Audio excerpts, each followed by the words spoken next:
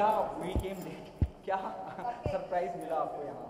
Uh, बहुत amazing था यार। मेरे सब फैंस जिनसे मैं सिर्फ़ डिजिटली बात करती थी ट्विटर पे इंस्टाग्राम पे वो लोग सब मेरे घर पर हैं। इस टाइम आप मेरी बिल्डिंग में हो। uh, तो बहुत ही अमेजिंग सरप्राइज़ है। मैं घर आई मैं फिटिंग्स में थी एंड मैं घर आई हूँ and everybody was here so it's the best surprise ever and an amazing start to my birthday weekend okay हुआ कैसे? अचानक तो हुआ नहीं होगा इसके लिए तो मेरे फैंस ने मेरे मैनेजर को फ़ोन किया और उन्होंने बोला कि हमारे पास बहुत सारे गिफ्ट्स हैं और हम चाहते हैं कि हम आके मिलें एंड इन सबने मुझे नहीं बताया एंड सब कुछ प्लान वन करके लोग पहुँच गए for more news and gossip don't forget to subscribe to Bollywood Helpline.